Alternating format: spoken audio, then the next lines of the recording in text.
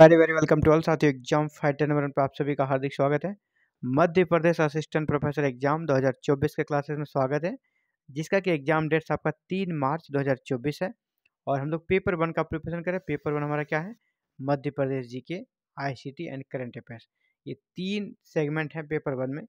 तो हम लोग अभी देखने वाले हैं आईसीटी सेक्शन को देखेंगे। आई सी मीन्स हो गया सूचना एवं संचार प्रौद्योगिकी, की एक बहुत ही महत्वपूर्ण कड़ी, कंप्यूटर टेक्नोलॉजी।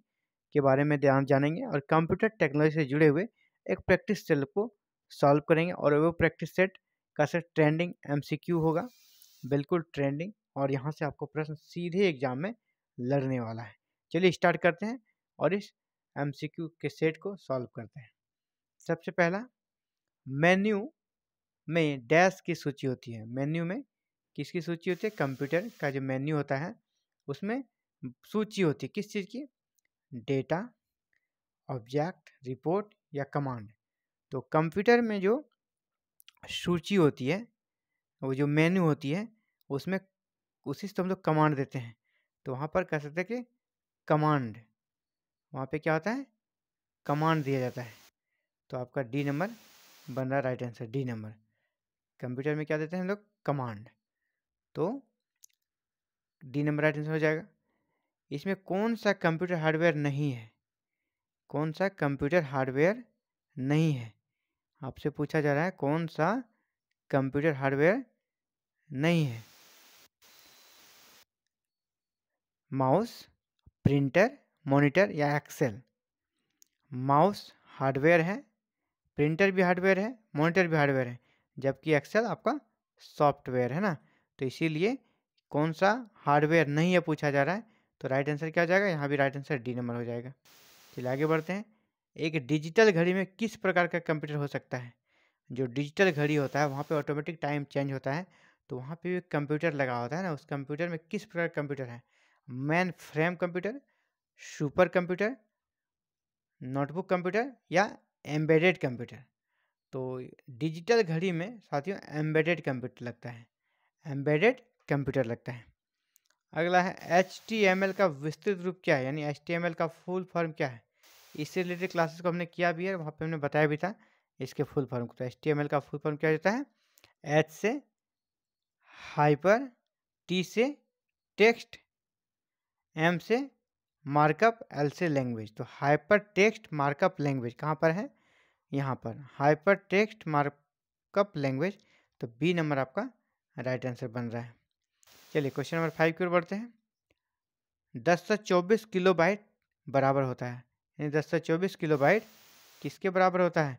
एक मेगा बाइट एक गीगा बाइट दस किलो बाइट या दस सौ चौबीस बाइट?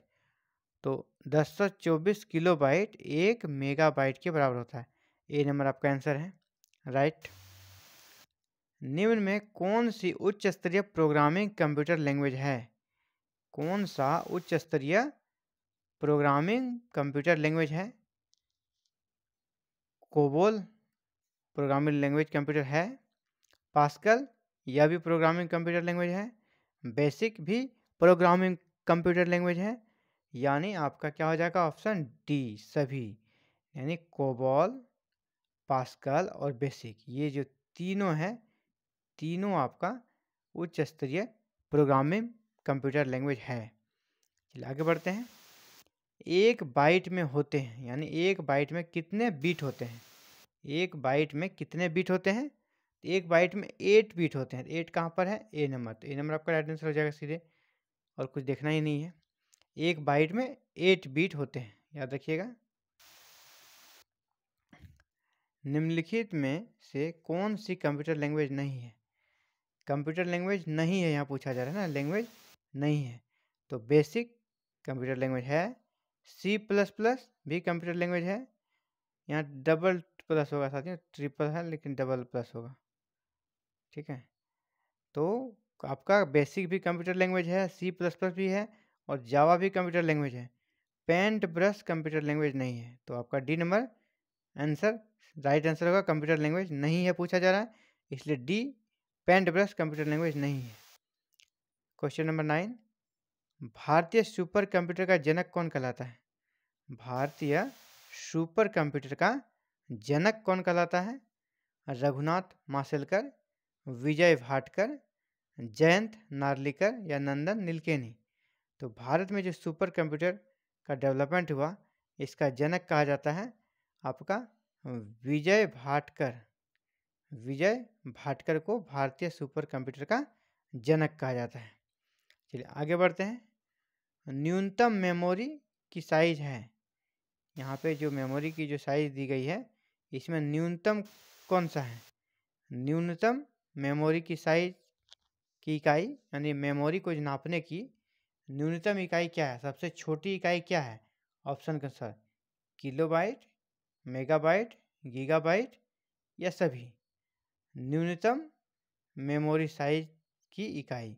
तो किलोबाइट के बी है ना? के बी सबसे छोटी इकाई है।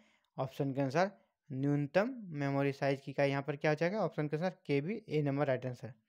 चलिए आगे बढ़ते हैं। कंप्यूटर प्रोग्राम्स के एरर्स को क्या कहते हैं?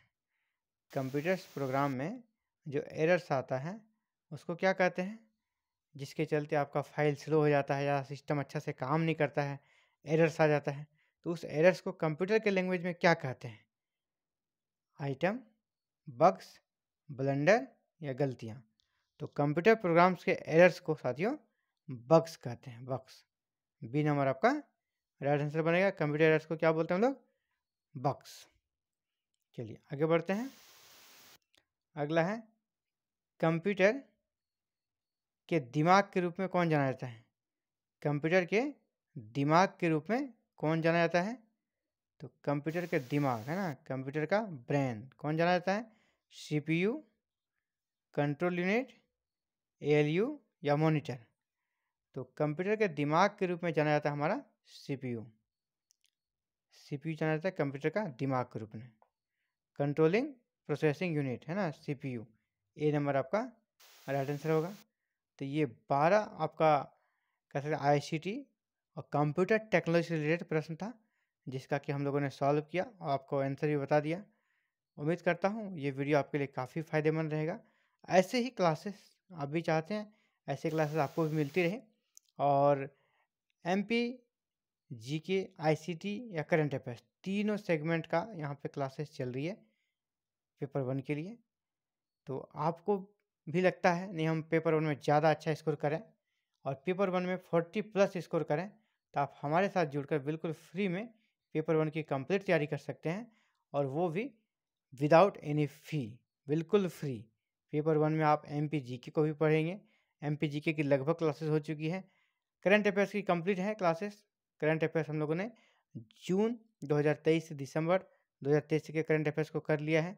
इतनी, इसी करंट अफेयर्स से आएगा, उसके आगे वाला अभी नहीं आएगा क्योंकि आपका एग्ज़ाम सात जो ट्वेंटी एट जनवरी को था तो पेपर आपका पहले ही छप चुका है, अभी नए करंट अफेयर्स और आगे वाले ऐड नहीं होंगे। तो करंट अफेयर्स आपका जून से लेकर दिसंबर सिक्स मंथ करना था, जो कि करंट अफेयर्स यहाँ पर करा दिया गया है। आप हमारे प्ले लिस्ट में जाके उस करंट अफेयर्स को भी देख सकते हैं। वो कंप्लीट है एमपीजी के भी लगभग सेवेंटी परसेंट सिलेबस कंप्लीट है। अब आपका आईसीटी अभी चल रहा है आई भी हम लोग हंड्रेड परसेंट बहुत जल्द कंप्लीट कर लेंगे। और इस प्रकार आपका एम पी पेपर वन पूरी तरह कंप्लीट प्रिपरेशन यहाँ पर कराई जा रही है। आप भी चाहते हैं एम जी के पेपर की कंप्लीट तैयारी करें तो हमारे साथ जुड़कर कंप्लीट बिल्कुल पूरे सिलेबस की तैयारी कर सकते हैं और एग्ज़ाम में अच्छा से अच्छा स्कोर कर सकते हैं। फोर्टी प्लस आपका स्कोर आएगा, इसकी पूरी गारंटी रहेगी अगर आप क्लासेस को अच्छे से करते हैं तो। और क्लासेस को ज्वाइन करने के लिए आपको करना है क्या? चैनल को सब्सक्राइब करना है, बेल आइकन को प्रेस करके ऑल बटन को क्लिक करना है ताकि आने वाले क्लासेस की वीडियो अपलोड होते ही आपको नोटिफिकेशन मिल सके और आप क्लासेस देख सके। Thank you thank you very very much. for watching this video and connecting with exam fighter number 1